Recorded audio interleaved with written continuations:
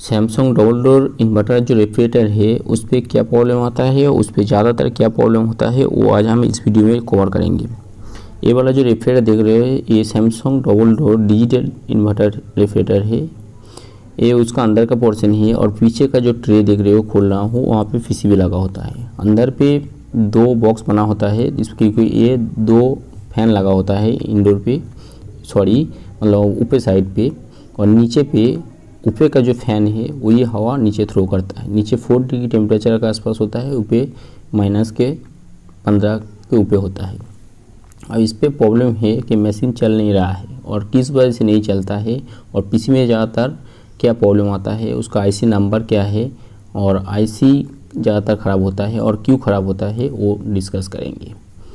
तो चलिए देखते हैं तो देखिए, यहाँ के पीछे का जो पोर्शन है, इसको ओपन किया हुआ यहाँ पे दो पीसीबी दिख रहा है। दो पीसी मतलब जो बड़ा वाला पीसीबी है, वो मदर पीसीबी है मतलब मादर बोर्ड है, और लेफ़्ट साइड पे जो कैपेसिटर वाला पीसीबी है, ये कॉम्प्रेसर पीसीबी है। कॉम्प्रेसर पीसी मतलब जो आपका जो कॉम्प्रेसर है, इस पर वो इन्वर्टर कॉम्प्रेसर है। मतलब नॉर्मल कॉम्प्रेसर नहीं है, उसको वेरिएबल कर सकते हैं। मतलब कॉम्प्रेसर वेरिएबल पे चलता है। तो इसको बंद कर देते हैं, क्योंकि ये चल नहीं रहा है तो इसको चालू रख के फ़ायदा नहीं है, फिर चेक करेंगे इस पर क्या प्रॉब्लम है। इसको वायर चेक करना पड़ेगा कि पावर सप्लाई आ रहा है कि नहीं। और आ रहा है तो तो मदरबोर्ड से डिवाइस बोर्ड पे मतलब जो कॉम्प्रेसर बोर्ड है, उस पे जा रहा है कि नहीं, वो भी देखेंगे। क्योंकि कॉम्प्रेसर जो है 50 हर्ट से लेके मतलब 200 हर्ट तक ये अप डाउन कर सकता है। अलग अलग कंपनी का अलग अलग हो सकता है। तो इसको हम लोग चेक किया हूँ। यहाँ पे जो देख रहे हैं मदरबोर्ड जो निकाला हूँ, इसके नीचे का बोर्ड पे प्लास्टिक पे एक काला स्पॉट पड़ गया है। मतलब यहाँ पे फायरिंग हुआ है। तो ये बोर्ड ख़राब हो गया है। तो ये बोर्ड पे क्यों ख़राब हुआ है? मतलब बोर्ड जो है, वो ख़राब हो गया है, क्या पार्ट ख़राब हुआ है, वो भी देखेंगे। लेकिन अपने पास दूसरा पीसीबी है तो उसको चालू, लगा के चालू करके देखेंगे कि मशीन कंप्लीट चल रहा है कि नहीं, उसका कूलिंग सही है कि नहीं, वो भी चेक करेंगे। तो यहाँ पे देखिए जितना भी सॉकेट है, इसको निकाल लिया हूँ। मेन पावर सप्लाई मदरबोर्ड पे जाता है। ये वाला जो सॉकेट है, ये मेन पावर सप्लाई सॉकेट है।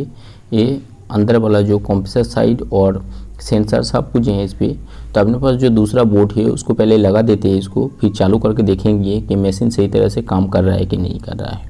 उसके बाद जानेंगे कि पुराना वाला जो पीसीबी है, उस पर क्या प्रॉब्लम आया है और जो प्रॉब्लम आया है, वो सॉल्व होगा कि नहीं, वो रिपेयरिंग होगा कि नहीं, उसका आईसी में प्रॉब्लम होगा तो आईसी कितने नंबर का है और वो कहाँ मिलेगा, वो सब बात करेंगे। तो इसका सॉकेट लगा लेते हैं एक एक करके। ऊपर वाला जो सॉकेट है, वो मेन पावर सप्लाई जिस पे रेड और ब्लैक लगा हुआ है, और नीचे वाला जो है, ये मतलब दूसरे वाला जो बोर्ड है मतलब जो कैपेसिटर वाला बोर्ड है मतलब कंप्रेसर भी है, उस पर सप्लाई आया है। और डिस्प्ले है, सामने का जो फ़ैन है, वो वाला, और ये वाला सेंसर का है, ये सब लगा लेते हैं पहले, फिर इसको चालू करके देखेंगे। क्योंकि ये इन्वर्टर एसी है सॉरी इन्वर्टर रेफ्रिजरेटर है फ्रिज है। तो इन्वर्टर में क्या होता है? इन्वर्टर बोर्ड लगाने से मतलब कंप्रेसर वेरिएबल होने से क्या होता है? कंप्रेसर आपका जितना रिक्वायरमेंट होता है, उस हिसाब से कूलिंग देता है।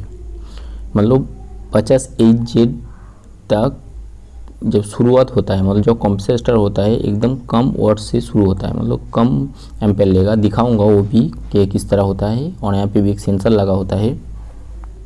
पुराना वाला जो आईसी है, यहाँ पे बास्ट हो गया है, यहाँ पे पड़ा हुआ है। ये नंबर कितना है और ये क्यों प्रॉब्लम आता है, वो भी देखेंगे। तो सबसे पहले इसको चालू करके देख लेते हैं, क्योंकि इसका बाकी जो बोर्ड है मतलब कॉम्प्रेसर वाला जो बोर्ड है, वो सही है कि नहीं और कॉम्प्रेसर चल रहा है कि नहीं। कॉम्प्रेसर चल रहा है तो उसका कूलिंग सही है कि नहीं, वो भी चेक करना पड़ेगा, क्योंकि पुराना वाला पीसी भी रिपेयरिंग हो जाएगा तो रिप्लेस करने की ज़रूरत नहीं है, क्योंकि नया वाला पीसी महँगा होगा।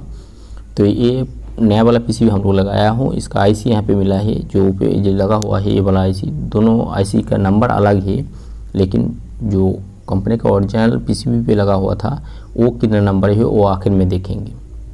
तो जैसे हम लोगों का पीसीबी कंप्लीट लगा दिया हूँ, अभी इसको चालू करके देखेंगे, लेकिन एक मुश्किल है, नया वाला पीसी में इस पर फ्यूज़ नहीं है तो एक वायर शॉर्ट करके, क्योंकि पुराना वाला पीसीबी का अभी फ्यूज़ उड़ गया है। तो एक वायर शॉर्ट करके इसको चालू करेंगे, बाद में इसको चेंज कर देंगे। तो ये ज़्यादातर प्रॉब्लम आता है, जैसे भी देखो, ये चालू किया हूँ तो एक बार लाइट ब्लिंक करके मतलब जो कंप्रेसर वाला बोर्ड है, उस पर एक बार लाइट ब्लिंक करके छोड़ दिया है। फ्यूज़ नहीं लगा हुआ है, फिर भी।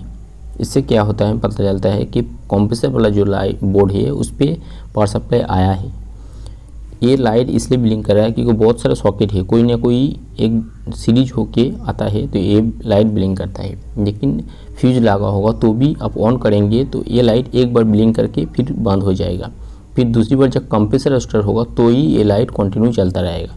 और कंप्रेसर बोर्ड में कुछ भी प्रॉब्लम होगा या कंप्रेसर स्टार्ट नहीं होगा तो ये लाइट ब्लिंक करता रहेगा। जैसे पावर सप्लाई ऑन है, यहाँ पे टेस्टर पे लाइट बता रहा है फ्यूज पे मतलब पावर सप्लाई यहाँ पे है, लेकिन आउटपुट पे उस पर लाइन नहीं तो हम लोग क्या करेंगे एक वायर लगा के यहाँ पे शॉर्ट कर दिया हूँ। अभी देखिए, इस पर पावर सप्लाई आ गया है और कंप्रेसर भी स्टार्ट हो गया है। कंप्रेसर स्टार्ट हो गया मतलब कंप्रेसर वाला जो बोर्ड है, वो लाइट ब्लिंक कर रहा है। यहाँ पे पॉइंट वन सिक्स एम्पेल ले रहा है। क्योंकि पहले ही बताऊँ इन्वर्टर कंप्रेसर है तो सबसे पहले मतलब जब चालू होता है, सबसे पहले तो एकदम स्लो होकर चालू होता है। अब धीरे धीरे उसका कूलिंग और रिक्वायरमेंट जितना होता है, उसी हिसाब से उसका एम्पेयर बढ़ता है, वो भी दिखाएँगे। तो मशीन चालू हो गया कंप्रेसर भी स्टार्ट हो गया है।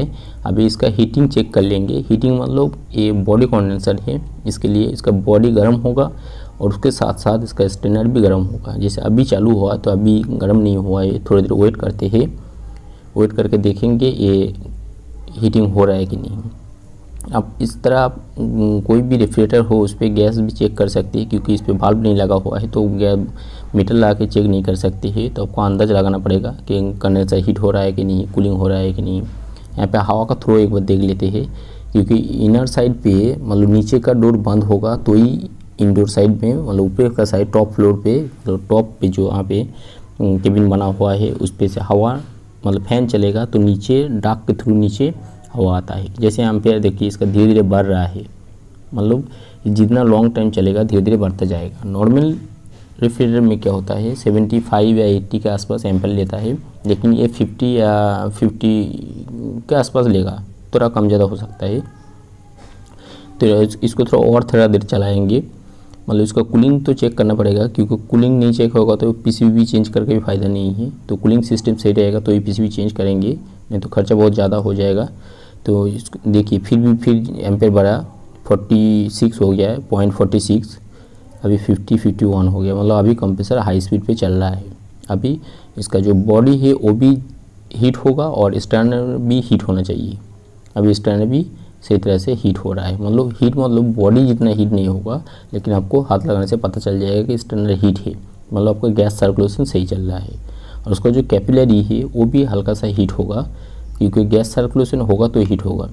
अब सिस्टम सही नहीं होगा तो कैसे पता चलेगा? आपका स्टेनर ठंडा हो जाएगा और कैपिलरी भी ठंडा हो जाएगा। मतलब आपको समझ जाना चाहिए कि सिस्टम में चोकट है मतलब गैस सर्कुलेशन नहीं हो रहा है।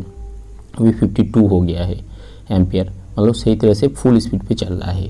अब ये नॉर्मल रेफ्रिजरेटर होता तो इस पर क्या होता कि ये 78 या 80 के आसपास ये एम्पेयर लेता मतलब पॉइंट एट्टी या 70 के आसपास लेता।